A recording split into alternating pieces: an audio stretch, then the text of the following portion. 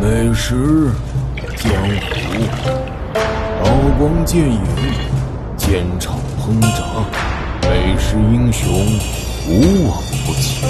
今天我五花肉就要来这江湖闯荡一番。少侠，且慢！想在美食江湖留下名号，这第一关就是历练名声。尽管来吧，撑住，我可以。既然如此，那再试试这第二关——刀光剑影。我是不会认输的。可以啊，少侠。但接下来的第三关，江湖人称水火交融。好冷啊，这里。水下的滋味不好受吧？哈哈哈哈。这这是哪儿？我这是怎么了？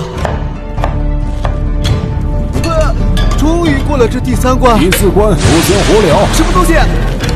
心无杂念，方能修成正果。心无杂念，要放空自己。第五关，制炼内力。我感觉有神秘的力量在进入我的身体。这小子领悟的还挺快。啊！我做到了！哈哈哈哈哈哈！恭喜少侠，终于来到了最后一关。终于到了最后的试炼。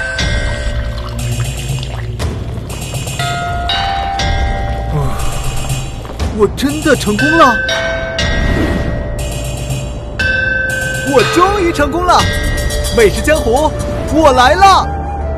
来西瓜搜索“美食江湖”，看更多美食传奇试炼经历。